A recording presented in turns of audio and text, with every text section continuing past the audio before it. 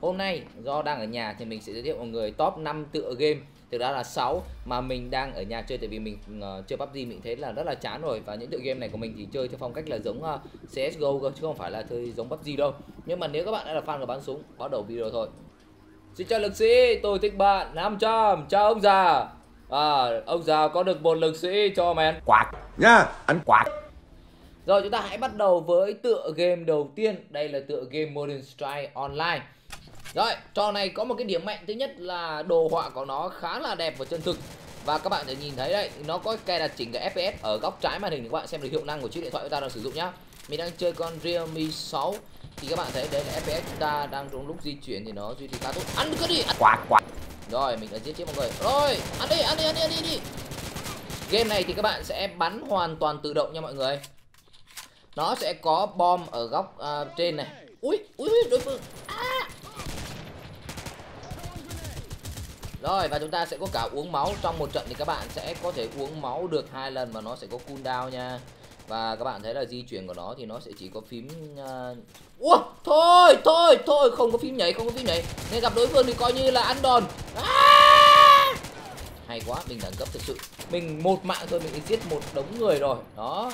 Tựa game thứ hai thì có phong cách chơi cũng tương tự, hình như là cùng một nhà phát hành hay sao á, chỉ có điều thay đổi là thay vì là chúng ta sẽ bắn nhau thời hiện đại thì đây là chiến tranh thế giới thứ hai. Và các bạn thấy là những cái vũ khí của chúng ta, nó rất cổ điển. Và tựa game này thì sẽ hiện FPS ở bên góc phải để các bạn thì kiểm tra được hiệu năng trên điện thoại của mình. Đang chơi ngon lành kênh đào hay không?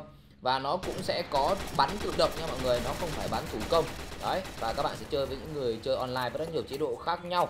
Và cũng có bom nhá đấy, bom chúng ta sẽ là bom ném theo kiểu huyền thoại ngày xưa trông rất là ngầu. Và cũng có hai lần được bơm máu. À! Rồi giết bằng lựu đạn cũng có nhiều vũ khí để chúng ta sử dụng. Và ở trong cái trò chơi này thì à, chúng ta không có nút nhảy. Và khi mọi người đổi vũ khí thì chúng ta sẽ vuốt lên. Như là mình sẽ có sống phụ là shotgun cũng có chúng ta có súng lục. Và vũ khí cuối cùng của nó là một cái xẻng tuy nhiên cả trò này và trò đầu tiên thì đều có điểm yếu là sau khi các bạn chơi mỗi màn xong thì nó sẽ đều xuất hiện quảng cáo rất là khó chịu. Ví dụ như bây giờ. Đấy nếu các bạn muốn mua một thiết bị chơi game ở nhà đặc biệt là những tựa game cổ điển và retro. Các bạn hãy truy cập ngay lên bên dưới đăng ký mua sản phẩm mới nhất tại gian hàng của mình đang bán. Đây là một thiết bị có thể chơi rất nhiều các hệ game cũ từ uh, NES này rồi cũng như cả có Game Boy vân vân. Và các bạn thì xem bài review kỹ hơn về cái thiết bị này mình đã từng làm nhá. Và đừng quên hãy đặt mua để ủng hộ bọn mình à, dịch thì ở nhà có cái làm video mọi người. Đấy thì trò chơi này có một cái hay hơn đó là nó sẽ có các cái uh, hộp để các bạn đựng giáp hay là đựng đạn để các bạn trong quá trình chơi mà các bạn mà hết đạn, các bạn thể tìm kiếm, các bạn thì nâng cấp và các bạn cũng như là bổ sung để có thể chiến đấu tiếp. Không giống như cái trò kia hết thì à, mình chưa nhặt được thêm đạn. Tựa game số 3 thì dường như là cũng cùng một lò nhà phát hành luôn nên mà phong cách chơi và cũng như mọi thứ thì giống nhau. Tuy nhiên đây là tựa game đến từ tương lai, nếu như vừa rồi chúng ta đã quay về quá khứ. Thế đến từ tương lai như thế nào? Thứ nhất là phong cách chơi chúng ta cũng sẽ là bắn tự động nên các bạn không cần phải lo là bấm phím bắn hay gì cả. Và chúng ta cũng sẽ có bom mìn các kiểu là không nên vừa review vừa chơi game nhé mọi đấy, chúng ta sẽ bay lên. Ui, bay lên. Ơi bay lên. Bay. Rồi, thấy chưa? Mình có thể lên. Đấy, lên máy bay bắn cho nó ngầu.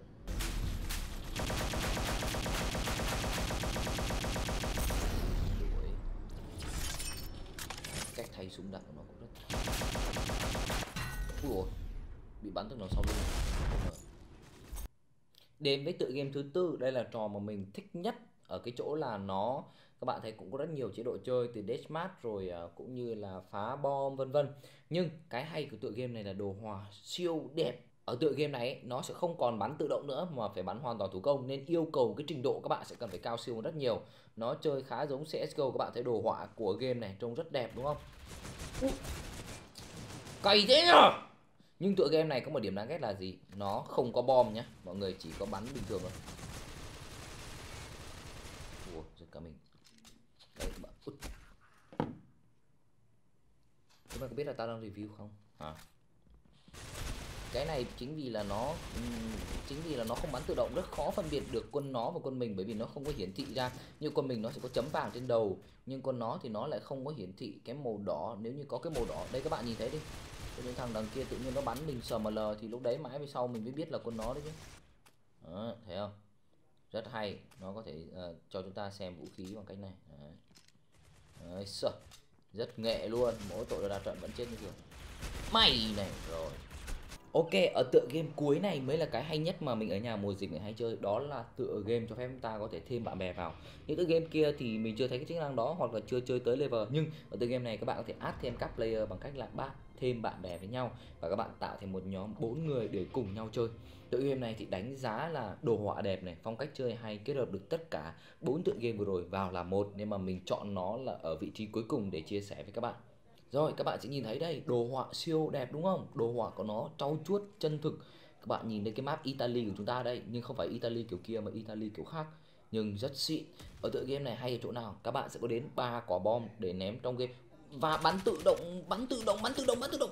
Và các bạn sẽ có máu đấy các bạn sẽ uống máu vào và uống giáp luôn. Nó sẽ có cả giáp và máu. Nhưng mà chạy đường nào đây? Ui thôi thôi thôi thôi thôi thôi thôi thôi ừ, ăn được rồi ngon. Chạy về về về về nó sẽ có cái radar ở bên góc trái đang hiện màu đỏ tức nghĩa là chỗ đấy đối phương đang tới. Bắn, để mà chúng ta có thể bắn được. Xịn ui giời, sau lưng nữa thì bố thế nào mà chơi được. Ở đây cũng khá đa dạng. Về map. Headshot và như vậy qua video lần này thì mình đã giới thiệu cho anh em về top 6 tựa game bắn súng mà cực kỳ hay mà các bạn thể chơi ở nhà. Các bạn thích tựa game nào nhất đó, mà đang chơi trò nào hãy comment bên dưới để mình sẽ review nhé. Mình còn rất nhiều game khác để review các bạn trong thời gian sắp tới. Hẹn anh em các video lần sau.